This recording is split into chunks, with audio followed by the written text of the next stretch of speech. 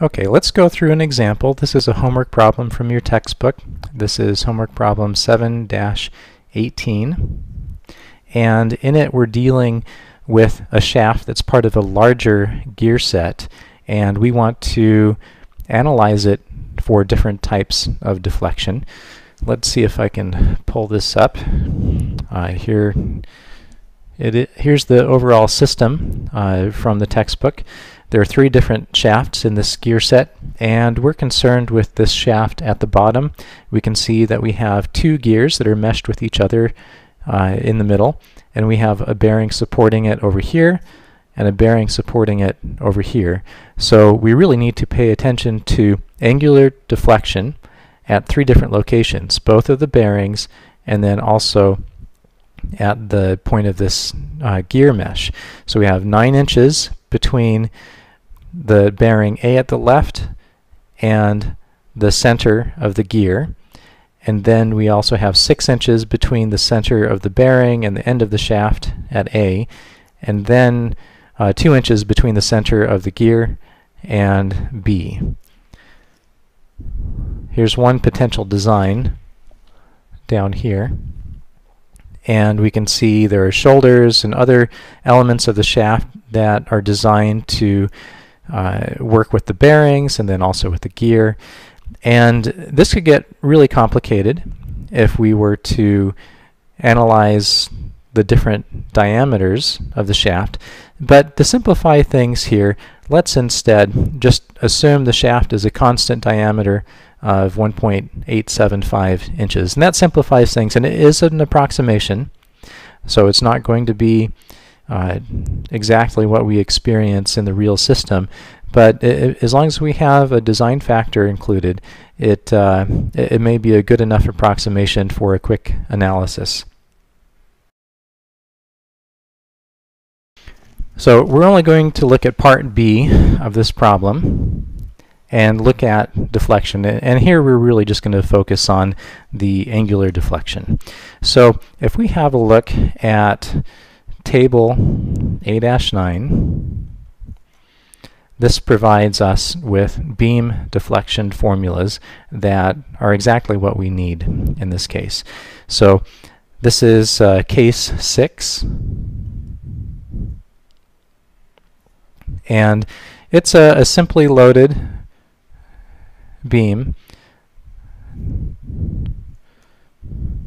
So if we have two reaction forces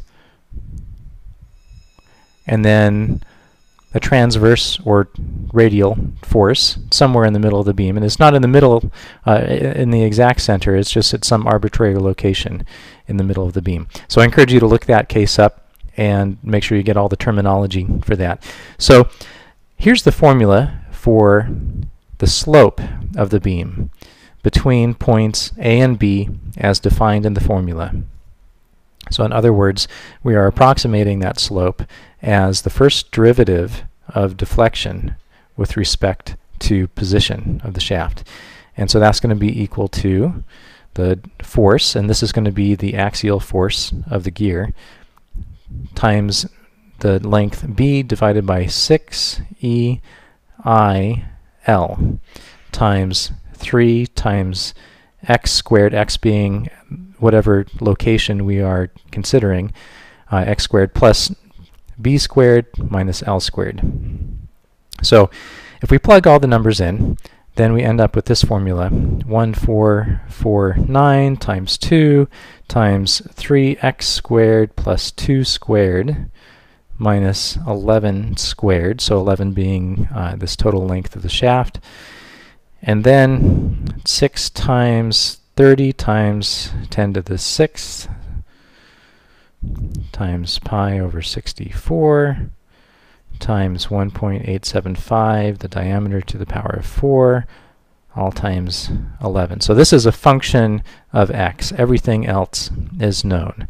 And so if we were to plug in values for x, if we had x equals 0, then we would discover that the angle, the slope, that's going to be minus 2.8 2, 3 times 10 to the minus fourth radians.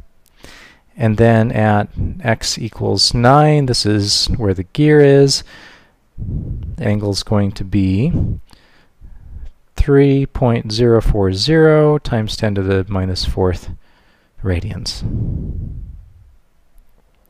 Now, this was all for analyzing the shaft uh, to the left of the load using that formula. To the right of the load, we use a different formula.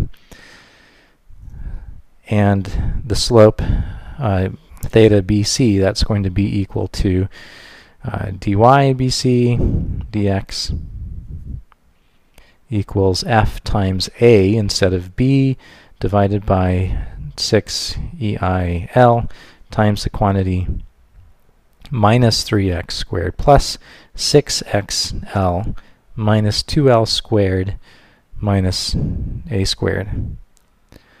Now, we're interested in the case where x equals L or 11 inches and we can evaluate that here. Theta is going to be equal to, let's see, FA over 6EIL times L squared minus A squared equals 1449 times 9 times 11 squared minus 9 squared all divided by 6 times 30 times 10 to the sixth times pi over 64.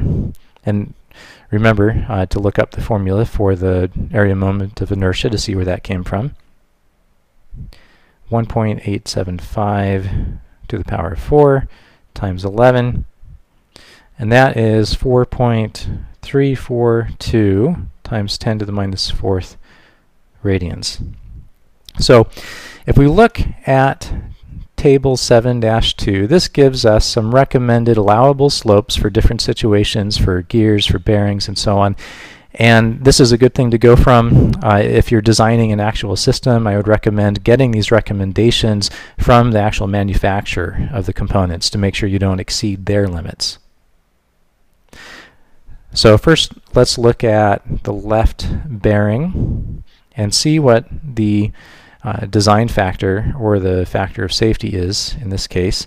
And so if we look up in the table, the allowable slope is uh, 1 milliradian, and then the actual slope is uh, less than that. And the safety factor is 3.5. So we're fine at the left bearing. And then the right bearing, Again, we have the same, let's see, uh, in this case, we want a smaller slope and divide that by the actual slope.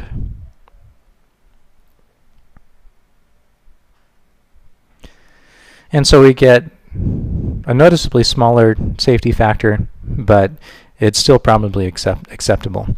So let's look at the gear. Now, I should point out something about this. This gear, as we look at the original figure before, it's meshed with another gear. So there are really two things to consider here.